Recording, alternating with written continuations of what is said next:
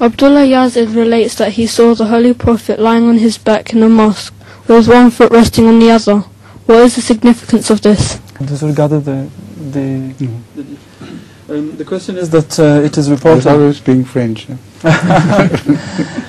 It is reported that the Holy Prophet Muhammad SAW was lying on his back in the mosque and he had one foot placed over the other. Was there any special significance to No. this gesture? It's uh,